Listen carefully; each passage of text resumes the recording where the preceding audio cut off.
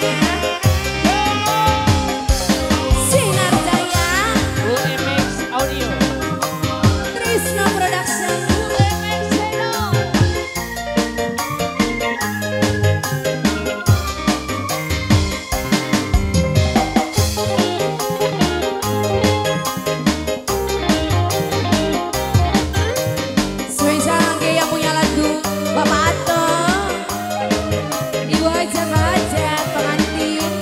Osservò